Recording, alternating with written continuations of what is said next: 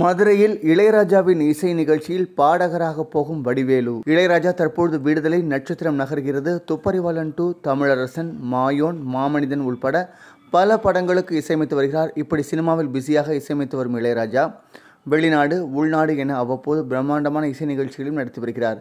சென்னை கோவையை தொடர்ந்து வருகின்ற ஜூன் இருபத்தி ஆறாம் தேதி இசை என்றால் இளையராஜா என்ற பெயரில் மதுரையில் அவர் ஒரு இசை நிகழ்ச்சி நடத்த இருக்கிறார். இந்த நிகழ்ச்சியில் நடிகர் வடிவேலுவும் இளையராஜாவின் இசையில் தான் பாடிய பாடல்களை பாட இருக்கிறார் இது குறித்து வடிவேலு ஒரு வீடியோ வெளியிட்டிருக்கிறார். அந்த வீடியோவில் நான் பிறந்த மதுரை மீனாட்சி பட்டினத்திற்கு எங்கள் இசைஞானி கச்சேரி நடத்துவதற்கு வருகிறார். அதை கேட்டவுடன் மிகுந்த மகிழ்ச்சியாக இருந்தது. நானும் அந்த கச்சேரிக்கு கண்டிப்பாக வருகிறேன். தரையில் பாடிக்கொண்டிருந்த என்னை திரையில் பாட வைத்தவர் இளையராஜா தான் நான் திரையில் புகுந்து விளையாடுவதற்கு அவர்தான் காரணம். பாட்டு பாடுவதற்கும் எனக்கு பிள்ளையார் சொல்லி போட்டது ஐயா இளையராஜா தான் மதுரை இசை நிகழ்ச்சியில் இசைஞன் இளையராஜா முன்பு பாடி உங்கள் அனைவரையும் சந்தோஷப்படுத்துவேன். இந்த நிகழ்ச்சியில் பங்கேற்பதில் எனக்கு மிக்க மகிழ்ச்சி என்று அந்த வீடியோவில் தெரிவித்திருக்கிறார் வடிவேலு. இந்த நிகழ்ச்சி ஜூன் மாதம் இருபத்தி ஆறாம் தேதி ஞாயிற்றுக்கிழமை மதுரை ஒத்தக்கடை பகுதியில் நடைபெறுகிறது.